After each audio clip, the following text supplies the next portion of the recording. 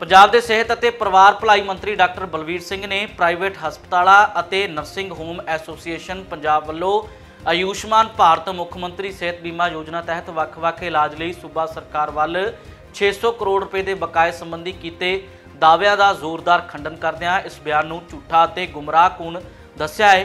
ਉਹਨਾਂ ਦੱਸਿਆ ਕਿ ਸਰਕਾਰੀ ਅਤੇ ਪ੍ਰਾਈਵੇਟ ਹਸਪਤਾਲਾਂ ਦਾ ਕੁੱਲ ਬਕਾਇਆ 364 ਕਰੋੜ ਰੁਪਏ ਹੈ।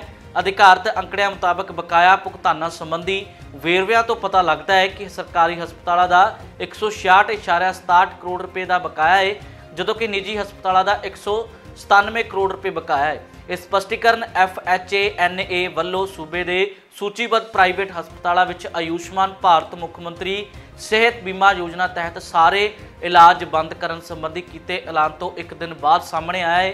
ਸਿਹਤ ਮੰਤਰੀ ਬਲਬੀਰ ਸਿੰਘ ਨੇ ਦੱਸਿਆ ਕਿ 1 ਅਪ੍ਰੈਲ 2024 ਤੋਂ ਹੁਣ ਤੱਕ ਸਰਕਾਰ ਨੇ ਨਿੱਜੀ ਹਸਪਤਾਲਾਂ ਨੂੰ 101.66 ਕਰੋੜ ਰੁਪਏ ਅਤੇ ਸਰਕਾਰੀ ਹਸਪਤਾਲਾਂ ਨੂੰ 112 ਕਰੋੜ ਰੁਪਏ, ਜੋ ਕੁੱਲ 214.30 ਕਰੋੜ ਰੁਪਏ ਬਣਦੇ ਨੇ, ਦੀ ਅਦਾਇਗੀ ਕੀਤੀ ਹੈ। ਉਹਨਾਂ ਦੱਸਿਆ ਕਿ ਨੈਸ਼ਨਲ ਹੈਲਥ ਏਜੰਸੀ ਵੱਲੋਂ ਸ਼ੁਰੂ ਕੀਤੇ ਨਵੇਂ ਸੌਫਟਵੇਅਰ ਦੀ ਵਰਤੋਂ ਸ਼ੁਰੂ ਕਰਨ ਤੋਂ ਬਾਅਦ ਕਲੇਮ ਲੈਣ ਸੰਬੰਧੀ ਪ੍ਰਕਿਰਿਆ ਵਿੱਚ ਫਰਵਰੀ 2024 ਤੋਂ ਕੁਝ ਤਕਨੀਕੀ ਖਾਮੀਆਂ ਪਾਈਆਂ ਗਈਆਂ ਨੇ। ਜਿਸ ਦੇ ਨਤੀਜੇ ਵਜੋਂ ਕਲੇਮ ਪ੍ਰਾਪਤ ਕਰਨ ਦੀ ਗਤੀ ਕਾਫੀ ਮੱਠੀ ਪੈ ਗਈ ਹੈ। ਹਾਲਾਂਕਿ ਸਟੇਟ ਹੈਲਥ ਏਜੰਸੀ ਨੇ ਇਸ ਮੁੱਦੇ ਨੂੰ ਹੱਲ ਕਰਨ ਲਈ ਹੋਰ ਸਟਾਫ ਦੀ ਤਾਇਨਾਤੀ ਅਤੇ ਸ਼ਨੀਵਾਰ, ਐਤਵਾਰ ਅਤੇ ਛੁੱਟੀ ਵਾਲੇ ਦਿਨ ਵੀ ਕੰਮ ਕਰਨ ਜਿਹੇ ਕਈ ਫੌਰੀ ਉਪਾਅ ਵੀ ਕੀਤੇ ਨੇ। ਇਸ ਮਾਮਲੇ ਦੇ ਹੱਲ ਲਈ ਸਿਹਤ ਮੰਤਰੀ ਨੇ ਸ਼ੁੱਕਰਵਾਰ ਨੂੰ FHANA ਦੇ ਨੁਮਾਇੰਦਿਆਂ ਨਾਲ ਮੀਟਿੰਗ ਸੱਦੀ ਹੈ।